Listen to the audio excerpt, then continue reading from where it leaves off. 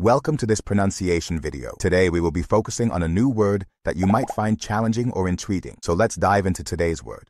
Depresiva, which means substance that reduces nervous activity or excitement in the body. Let's say it all together. Depresiva. Depresiva. Depresiva. One more time. Depresiva. Depresiva.